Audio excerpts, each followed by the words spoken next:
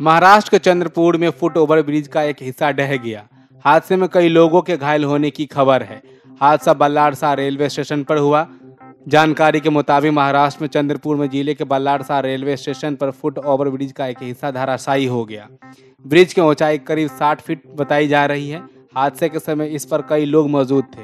हादसे के वक्त लोग 60 फीट की ऊंचाई से रेलवे पटरियों पर जा रहे थे और इसी दौरान घटना घट गई।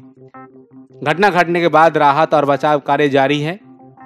मध्य रेलवे के सीपीआरओ शिवाजी सुतार ने कहा कि नागपुर मंडल के बल्लार शाह में रविवार शाम करीब पाँच बजे फुट ओवर ब्रिज का एक हिस्सा गिर गया।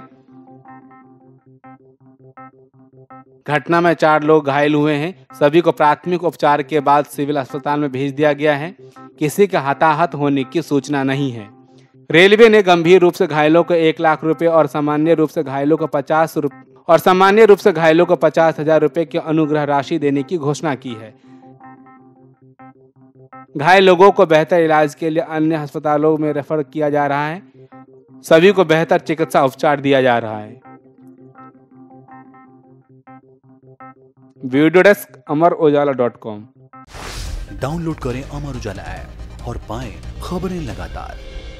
अगर आप ये वीडियो YouTube पर देख रहे हैं तो हमारे चैनल को सब्सक्राइब करें और बेल आइकन को दबाना ना भूलें। अगर आप Facebook पर यह वीडियो देख रहे हैं तो हमारे पेज को लाइक करें।